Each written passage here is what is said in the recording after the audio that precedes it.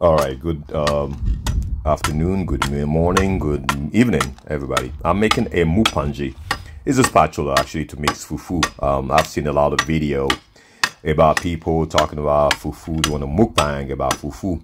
So it's uh, pronounced mupanji. So I had this piece of wood from a previous project that I decided to make a mupanji uh, for my wife. So, um, so I just got and started actually shipping it shaving it actually so I can get to a shape that I desire to start polishing it and making a mupanji. So it took a while because it was a, a, long piece of wood that I had with me. So I used this machete. Look at that. Good word. African man. Um, yeah, so I had this machete that I bought and um, so I start shaving uh, all the excess and here we go actually so I cut it actually piece of it uh, about probably two or three feet. So you know I kind of move forward so you guys can see it. So yeah so I keep shaving it again with a machete uh, just to make sure that um, I get to the shape that I wanted.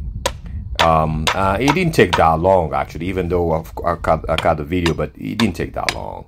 Um, it takes a lot of patience to do it um, I advise anybody who's going to try this, be careful, use your goggles, and always use uh, gloves so you can protect yourself. Always use protection. Uh, always be safe. Uh, don't cut yourself. And if you are not comfortable with your machete, uh, find a different um, tool to do it. Or just don't do it. Just go buy it. Or just call me. Maybe I can make one for you.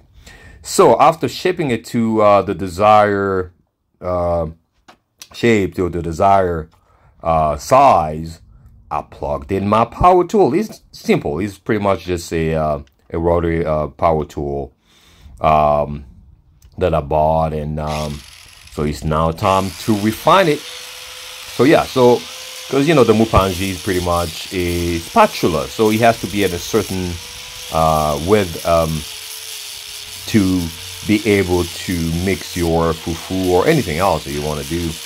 Uh, the funny part, my wife is like, yeah, we can use it on the boat. So yeah, so uh, now I start shipping it. Um, the grit was actually, I think it was 60 on this one here.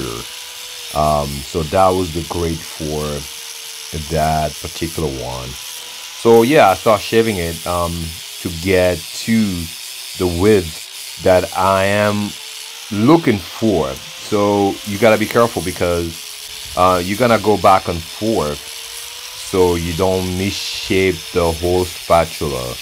Um, that's what I did. So yeah. Again like I said uh, I didn't use here we go. Um, this is what I was getting to.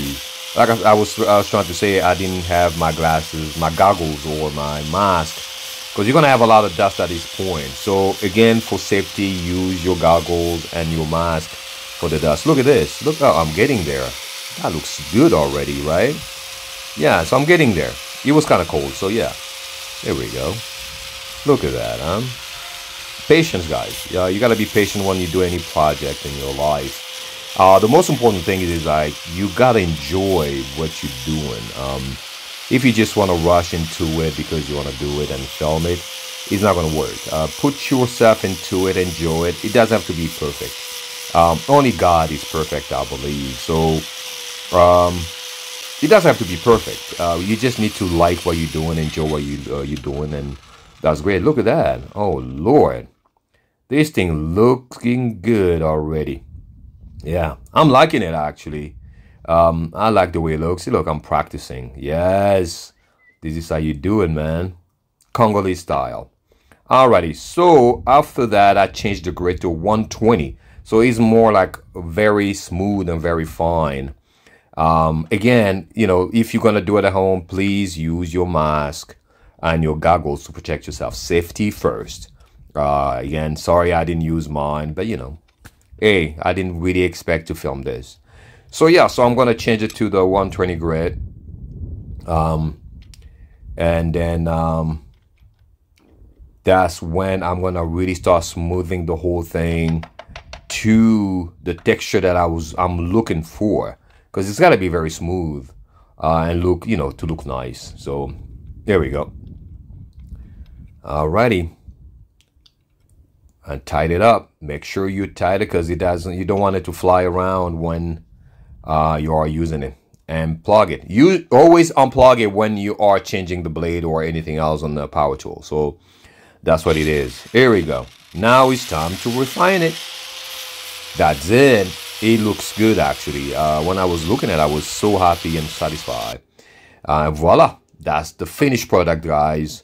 Um, it looks fantastic and I'm gonna show you actually I kind of etched my um, my initials in there but one of the greatest, greatest things since this was a gift uh, to my wife I did something great look at that I put her name on it and wrote Mupanji with a heart guys it's just a thank you thank you clap for me it's hot um yeah so uh, you know I put her name it's not perfect like I said but I did it with my heart. I did it because it's fantastic. Come on, like the page, like the video, guys.